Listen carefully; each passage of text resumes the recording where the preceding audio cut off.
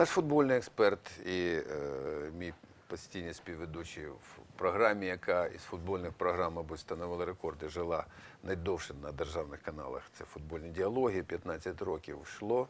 І от е, майстер спорту міжнародного класу, академік е, Академії людини Сполучених Штатів Америки, е, кібернетик по освіті своїй і е, тепер викладач.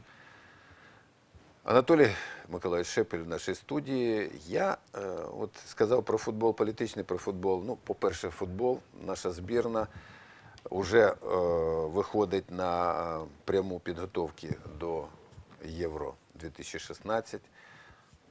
Суперник нарешті вже такий більш-менш серйозний. А е, в складі е, тренерського штабу вже Андрій Шевченко. Ну, поки що думаю, що він помічник Фоменка, не більше. Ну, это однозначно. Я вам скажу. Все дело в том, что футбольное поле – это футбольное поле. И восприятие футбольного поля чисто визуально, включая анализ после это одно. А расставить игроков, учитывая их специфику, учитывая их функциональные возможности, конечно, это совершенно другое.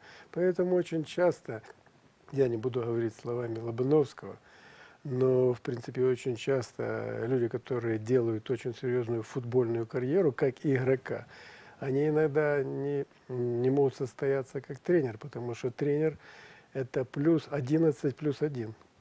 Это 12 однозначно игрок, но 12 игрок, наблюдающий, в принципе, и расставляющий, контролирующий, анализирующий за 45 минут те вещи, которые происходят на футбольном поле. А я вам скажу, что это совсем непросто. Дійсно непросто, і розуміючи це, Андрій часто відмовлявся від пропозицій е, таких. Але ну, от, на відміну, ви почали, скажімо, з дитячого футболу, пішли в нього і, і очолили Академію Динамо, яка піднімалася. І от на ваші, так би мовити, на ваші плечі лягло її фундація і те, що вона зараз на якому рівні.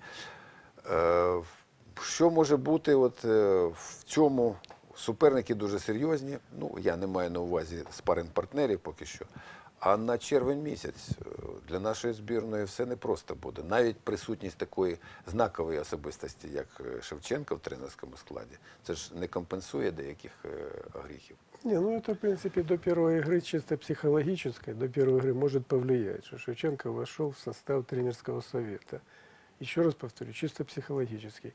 А все события, как будут проходить на поле, это естественно. Это, в принципе, и обыгрыш, которые пройдут кандидаты до июня месяца. Но суть заключается в другом. Тут же другая подоплека.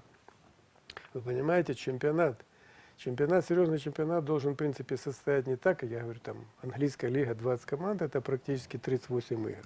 Но для того, чтобы обыгрались в серьезном цейтноте, принципе, чемпионат внутренний должен быть серьезный. А сегодня чемпионат внутренний, не скажу, что он серьезный, но он реорганизован, заорганизован. И, в принципе, у меня сомнение, что кандидаты наберут такую форму серьезную, э, в сфере того, как они находятся в чемпионате внутреннем. Потому что, в принципе, не то, что э, соперники э, и наш чемпионат слабый, а тот цейтнот, который должен присутствовать в борьбе за первые там, пять мест, он отсутствует.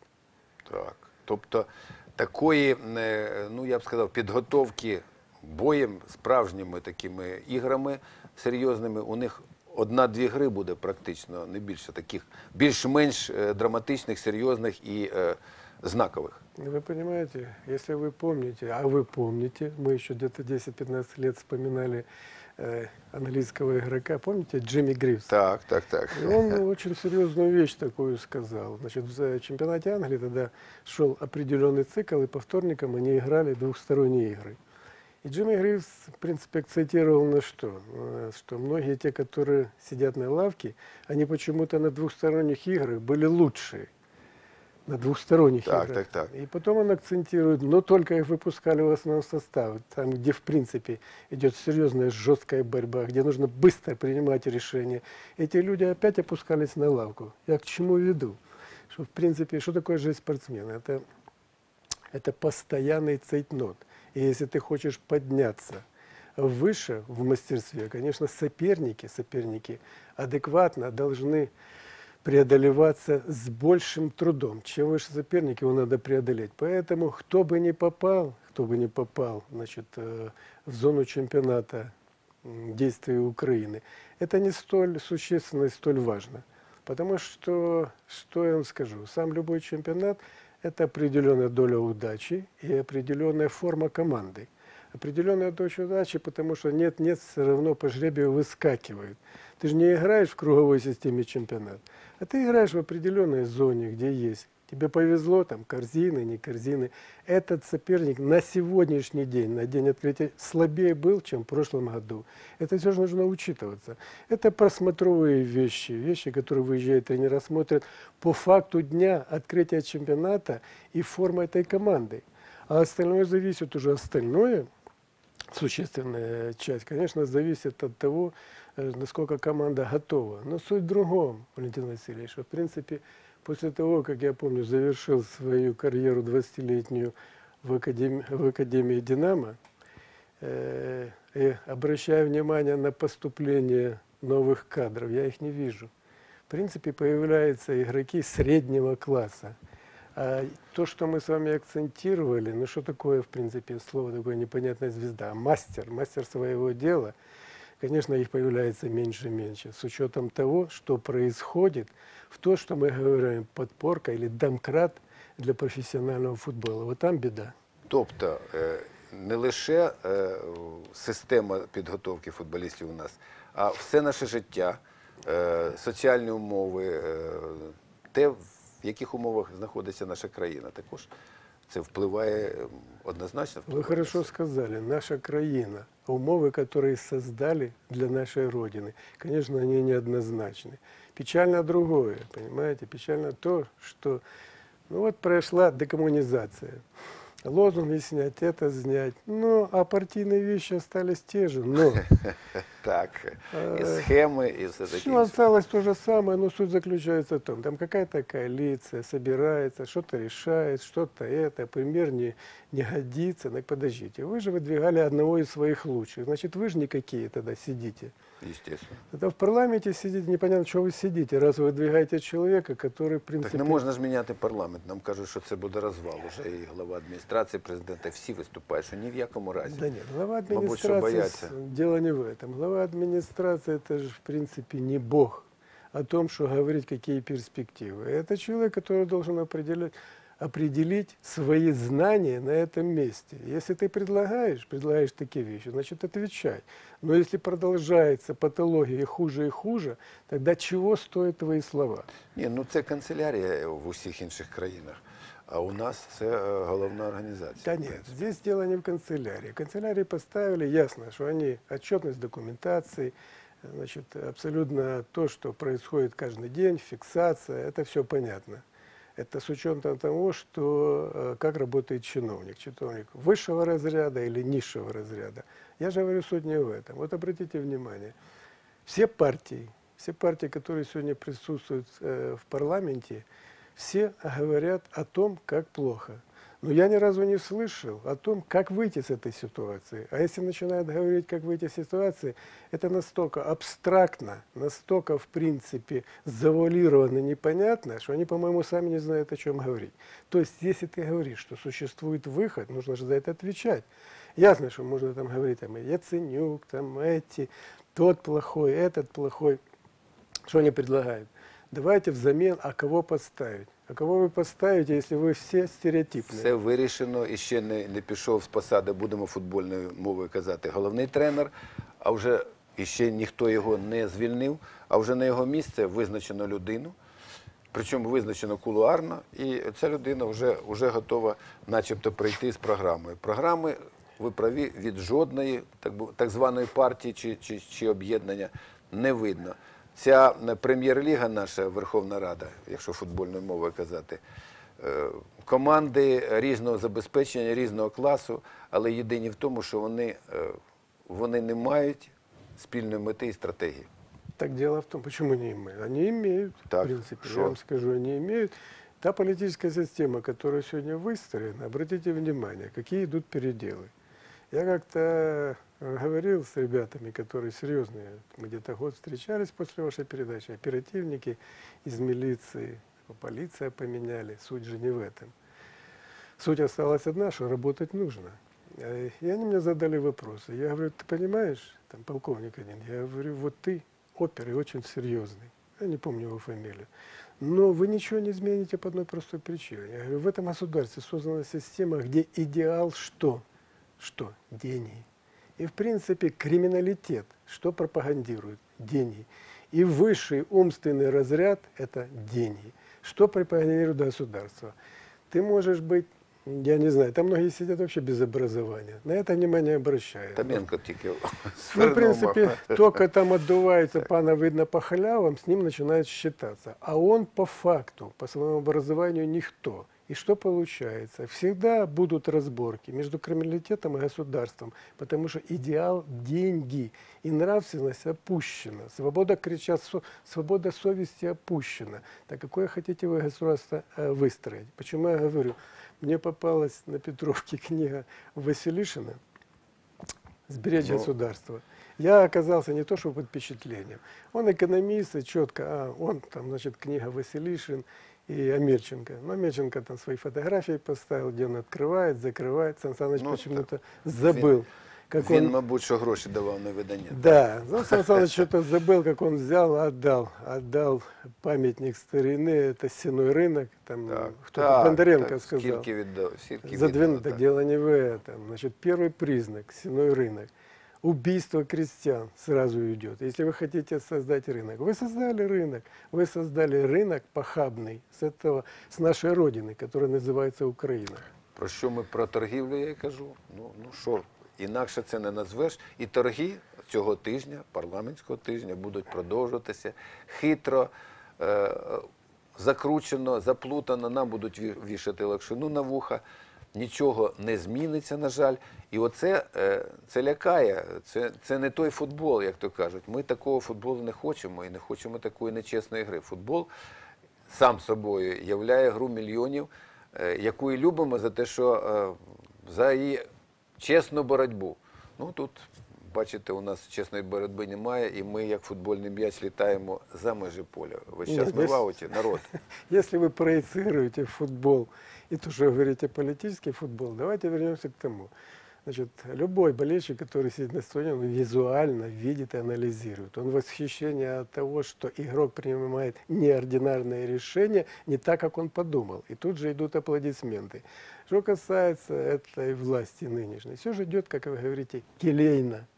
Они приходят, договорились, не договорились. И суть, я возвращаюсь к тому, суть упирается в одно, в их материальный достаток, которым все время не хватает.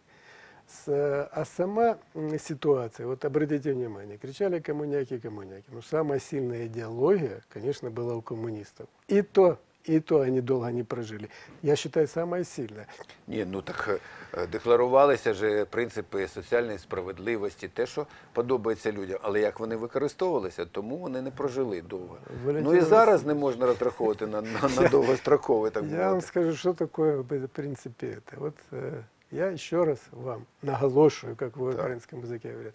Они выстраивали коммунизм. Коммунизм безнравственный через букву О. Коммунизм они выстраивали. Поменяйте первую букву К и возьмите санскритские слова, и услышите слово коммунизм. То, что присуще славянам, идет от Бога любви. От Бога любви нашего, славянского. Суть же не в этом. Обратите внимание, вот партии договариваются.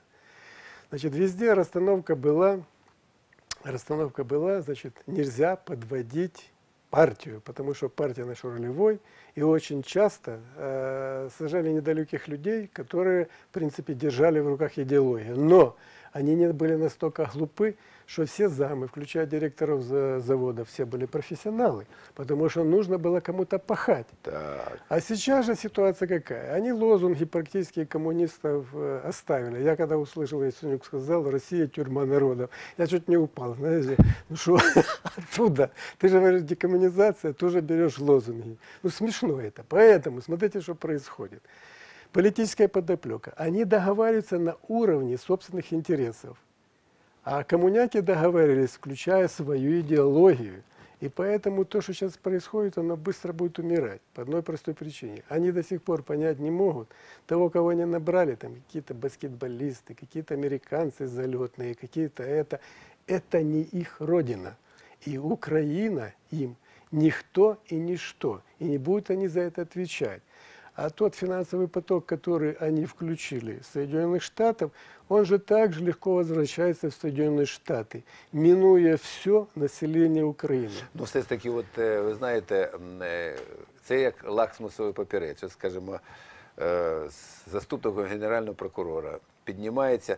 Вони е, дійсно е, люди прийшли, скажімо, з Грузії, почали щось мі- намагаються міняти і одразу наштовхнулися на стіну.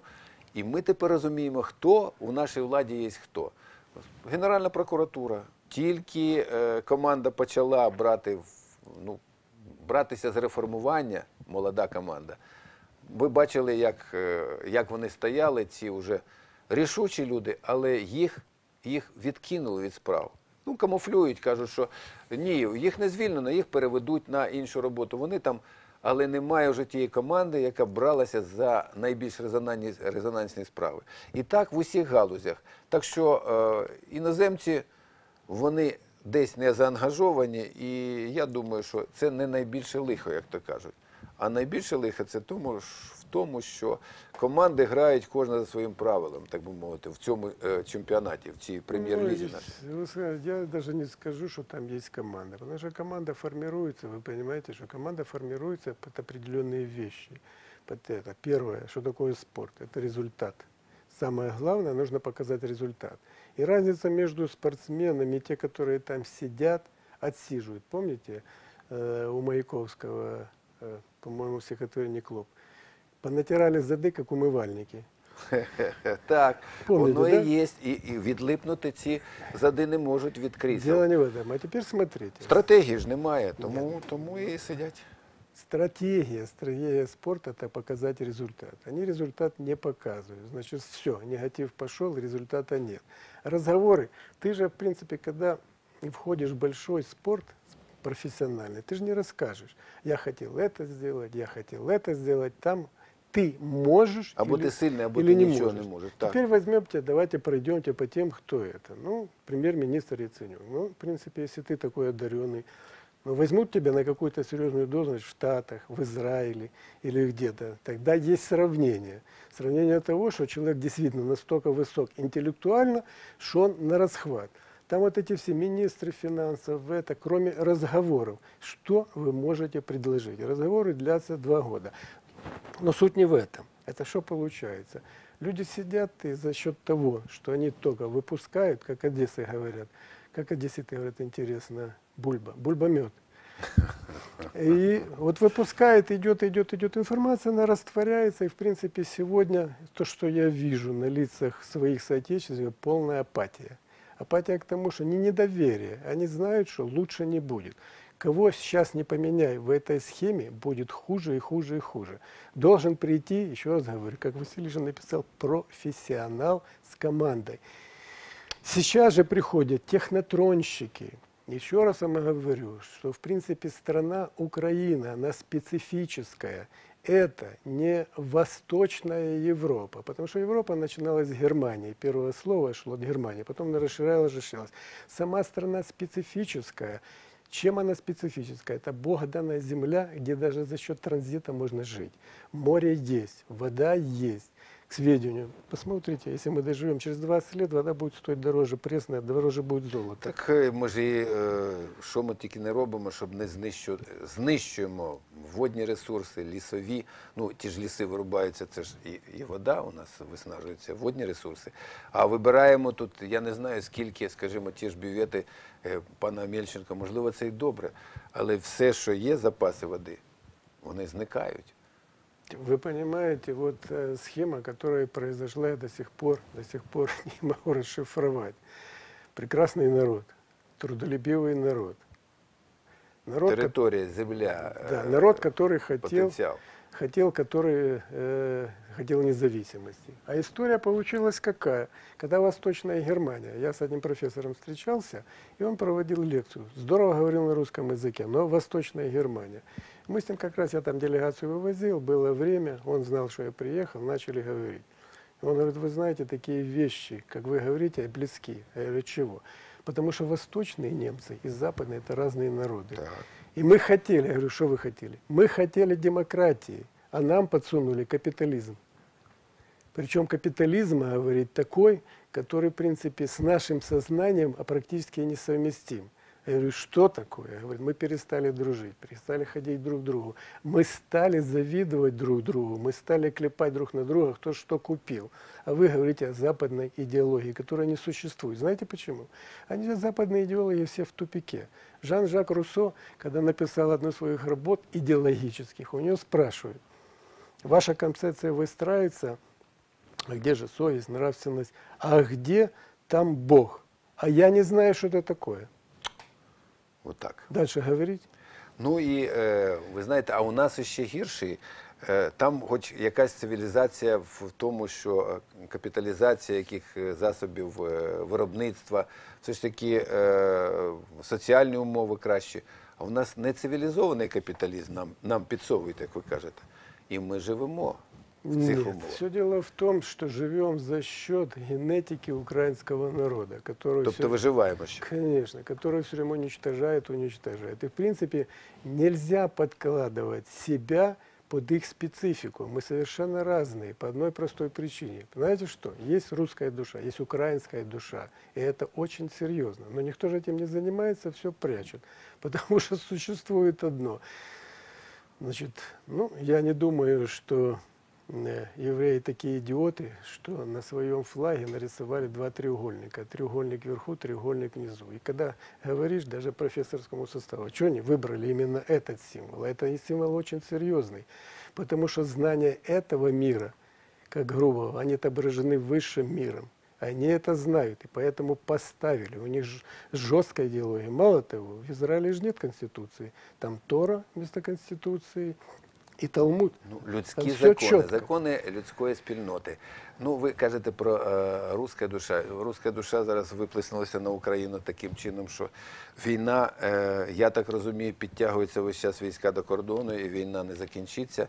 І тут е, більшість людей в Росії е, ненавидить е, свого сусіда. За що ненавидити? Я отак от е, тверезо мислячи. Значить, там, там ідеологія того змішана комуністично е, кланово корупційна, вона перемагає. Да нет, она не перемагает, это все временное по одной простой причине. Значить, Всё. статистика е, Не, ну, там не Валерий та Владимирович, е, я не хочу популярності возвращаться. Путіна. И Так. так очень много говорим. Вы понимаете, когда даже, это должны знать, когда даже много говоришь о определенном человеке, о том же Путине, он становится еще сильнее.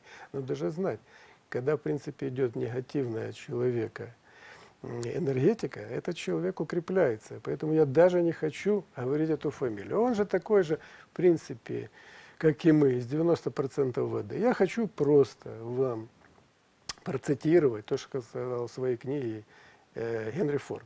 Ну, я же не думаю, что это идиот. Ну, я вам скажу Он так. сказал такую вещь, которую, в принципе, нужно про это знать.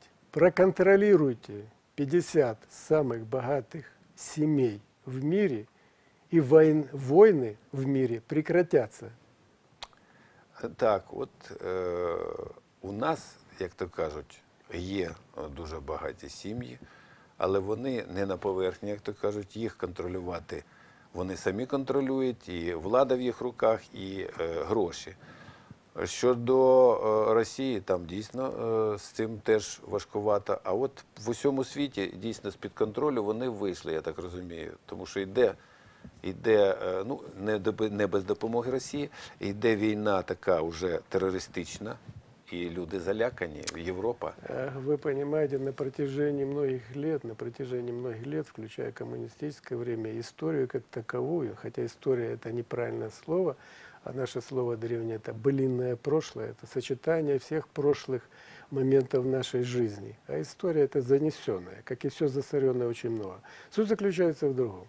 Очень часто информация, которая выходит, там Антанта хотела там прибить. Антанта ставила Ленина Бланка к власти. Так. И все эти разговоры я нашел в архиве фотографий, где одета армия Колчака и одета армия Красная. Эти Красная армия с иголочки, а Колчака – оборванцы. Так что все то, что информация заносится с Запада, я вам хочу напомнить одно. Каждое государство, оно в принципе эгоистично. Запад сегодня рассчитывается за что? Там, наплывы это. Значит, рассчитывается за колонии, которые они в свое время грабили, ставили нищими, ставили на колени. Сегодня это ну, идет расчет за это. Просто так ничего. Это э, в мире, э, ученом мире, мистическом мире называется э, равнозначное в принципе, то, что должен получить государство и человек из-за того, что он сделал. Я же не скажу, что они такие барашки, что, что они творили с колониями, что Англия творила с Индией. А знамя это самое, Сипаев восстание, когда привязывали к груди и человека рвали на куски. Кто будет за это? Это равнозначное воздаяние.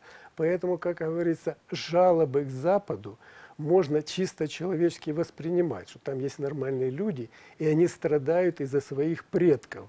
Но те предки что творили чудеса, они же уничтожали колонии, вывозили все. Наглядный пример, нет вопросов. Значит, фирма, которая занималась, э, французская фирма, которая занималась какао, только там открыли рот и поменялась власть, провели национализацию, что авианосец Деголь уже стоит возле этого государства.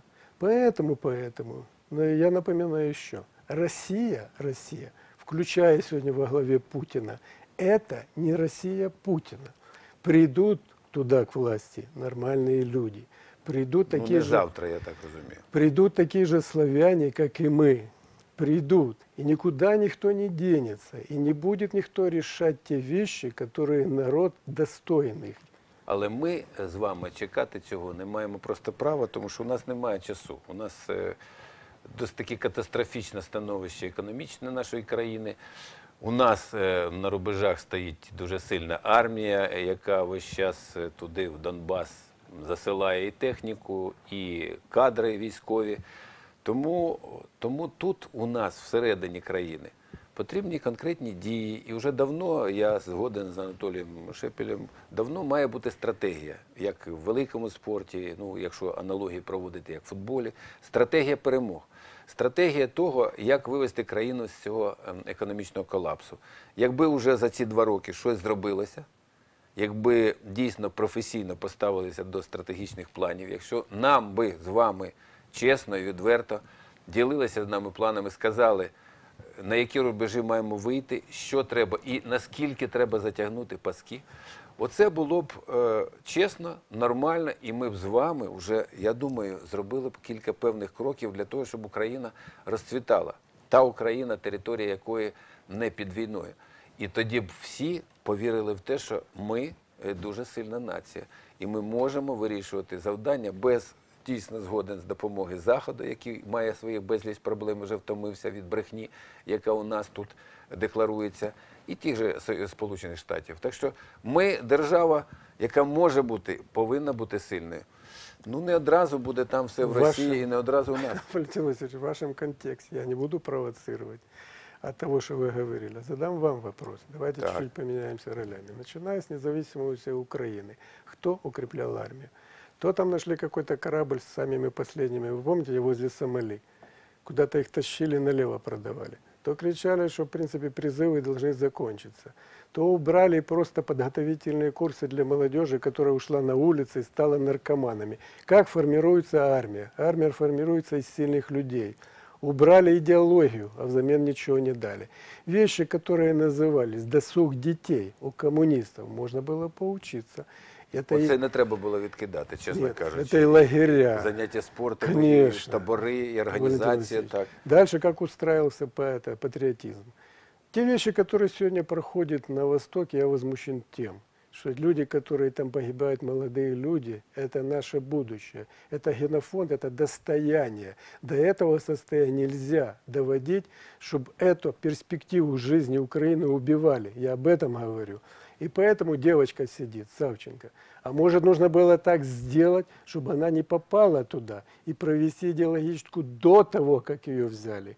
Тогда это, я понимаю, сидят разумные люди, а не после факта. У греков хорошая есть пословица. После этого это не значит, что из-за этого. Поэтому я о чем говорю. Так, розумно. Это беречь надо. Беречь надо. Если вы кричите, что это патриотизм, эти люди идут на вес золота по одной простой причине. Они же любят свою родину. Я не говорю государство. Они любят свою родину. Они любят свою семью. Они любят своих друзей. Самое главное, они любят свою землю. А что здесь происходит? Любовь выбили, совесть выбили. Ага, ты там что-то проявил, ну получишь это. А получишь? Нет, это ничего не будет по одной простой причине. Только взаимоотношения наши с вами, причем личностные отношения, которые построены на совести, на доброжелательности. Тогда выстраивается государство, которое, в принципе, озвучивает что? Единство, свобода. Но в этой свободе и единстве обязательно равенство. А после равенства что идет? Справедливость. Тогда выстраивается государство, то, которое мы с вами говорим о перспективе. И тогда не должны идти молодые ребята, а подготовка идет серьезная. Какой у них есть плохой сосед, но жить с ним придется. А теперь вопрос к вам. Тот потенциал, который мы имели, когда это было разъединение Союза, промышленный, военный, оставив его сегодня, та сегодняшняя ситуація Європа вас за уши тащила, що ви тільки зайшли в Євросоюз. Звісно, про це ми говоримо тут також. І аналіз того, що наробили, що не що зробили хорошого, хорошого дуже мало. Президенти України і ті влади, які вже були, цей аналіз він прислужився б нам для того, щоб, е, можливо, народним референдумом дати оцінку всім е, володарям булав, так би мовити, усім президентам, прем'єрам і відібравши у них, у тих, хто проштрафився, тобто хто ламав усе це, той, той потенціал, хто розбазарював його, вони мають відповісти своїм майном і навіть своєю, я б сказав, свободою. І тоді, тоді нарешті б у нас уже принцип такий би запанував, що у нас безкарності не може бути. Будь-який злочин він карається. Досі за 25 років у нас цього не відбулося, тому, тому ми маємо те, що маємо. Ну, маємо те, що маємо. А саме головне, маємо ми що? В цьому маємо? Так. Ми маємо свою совість. Ми маємо, в принципі. Ну ми маємо, а, а Ми ви маємо завтра саме подивитесь головне. в Верховній Раді, хто має Та там ні, сотню. ну Верховна Рада це що, показатель, народний Ні, показатель. ну це ж наші, е, ми ж найма, на, на, наняли на Нет, роботу. Вони... давайте начнем с того, Валентин Васильевич. Эта система не предвидит попадания туда умного человека, я говорю, неразумного. Эта вся система, в принципе, зыждется на одном, и фундамент – деньги. Кто как взял, это безнравственно. Суть заключается в другом. Первое. Вот они между собой разбираются, там того депутата убрали. Значит, говорят о том, что громада делегатировала, делегатировала Ну, депутата. Делегували ми, а що ж? Ну Може- так може пускай бути. громада в связи с И том з- и и, забирает, отзовет так. его. Но они же этого и не делают. Списки они не открыли. А ні, двоє-троє вирішили, що треба викинути, вони незручні. І все. Громада, да они, поле- в принципе, громада, если бы Кулуарна, як увидела. ви кажете. Я вам скажу о нравственности этой депутатской группы, даже не хочется назвать. Сидит старик, я не знаю этого фамилия, или он депутат, или берет ногой, старик, человек, э, пожилой, в возрасте, я не знаю, он СБУшник или КГБшник, суть не в этом. Пожилой человек, подходит какой-то это, берет его ногой, бьет в лицо. Тишина. Потом какого-то женщину депутата бьют бутылкой по голове. Тишина. Вот это говорит о их нравственности. О чем мы можем говорить, что в принципе с экрана вот это показывают и льется. Е, Ну, якщо е, тут екстремальні такі дії, тому що ви знаєте, ну до е, не доходить до депутатів те, що е, і до е, можновладців, те, що іноді, іноді, м'яко кажучи, вони роблять не те, що потрібно державі, а вони ж особлюють державу. Нет, так що о, Валентин Васильевич, они під не- фініш, скажіть, будь ласка, Ні, тут та що ні, ні. можна в резюме в цьому сказати? Я хочу сказать одно. первое, в принципе. Как бы они ни ломали, но не сломает этот народ. Но светлый народ Ми украинский. віримо в це так. Надія, як Ні. сказала нам. е, Я вам попередньо скажу, виступ- кто такая Украина. Еще раз повторю, последнее слово – это солнечные люди. Ну, как бы им ни хотелось, как бы ни негатив. И демонические личности не заходили в те ряды, которые вы называете. Ну, не сделают они с этим народом ничего. А вот что нужно сделать, это нужно нам стать нацией. Значит, появится человек, я в это верю, такой, как Богдан Зиновьевич Хмельницкий, где будет творческая идея, будет идеология. И каждый будет знать, что такой бессеребренник, как Богдан Зиновьевич Хмельницкий, у которого даже кубки были деревянные, придет на эту землю. И все станет как положено. Ну що ж, ми поча- почали з сонячної людини. У нас Ольга Радсько сказала про те, що ми сонячна нація. Так, ми такі. І як би там не було, все ж таки цей тиждень покаже іще раз обличчя нашої влади, покаже, на що вона здатна, чи здатна вона мінятися, перезавантажуватися. І е, ну, можливо, я мені сказав, от на початку я сказав, що буде смі- буду сміятися, якщо е, дійсно знімуть пана Шокіна. Е, Це знов таки голосів не вистачить, і знов таки ця прем'єріада, а там люди гинуть. Все це має піти уже в минуле як, якнайшвидше, тому що е, якщо не поміняємось, якщо не виправдаємо те, про що говорить мій співрозмовник, то е, ми втрачатимемо і втрачатимемо майбутнє майбутнє наших дітей, онуків, наших близьких. Так що давайте об'єднаємось і е, виправдамо надії, які ми самі покладаємо на майбутнє. Я дякую вам за увагу і розуміння. До побачення, до нових зустрічей в ефірі.